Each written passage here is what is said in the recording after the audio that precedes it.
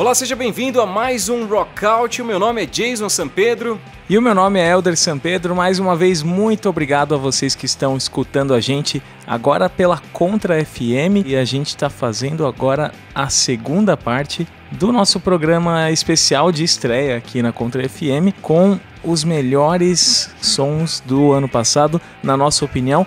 Talvez melhores não, mas os que a gente mais gostou, né, Jason? Eu diria que são as músicas que mais chamaram a nossa atenção, Elder. Não é que são as melhores, mas foram as músicas que mais chamaram a atenção. Para você que está escutando o programa, esse aqui é o segundo programa pelo Contra FM e a gente resolveu fazer, já que a gente estava estreando, a gente não conseguiu fechar em uma playlist, a gente fez em duas, então essa é a segunda parte, a segunda parte final dessa seleção com as músicas que mais chamaram a atenção minha e do Elder aqui no Rockout. É, a gente fala que não são as melhores porque a gente não quer dar de crítico manjão que fica cagando regras sobre música, a gente simplesmente curte as músicas e a gente coloca aqui para vocês escutarem. Espero que vocês façam mesmo as músicas que vocês gostem aí.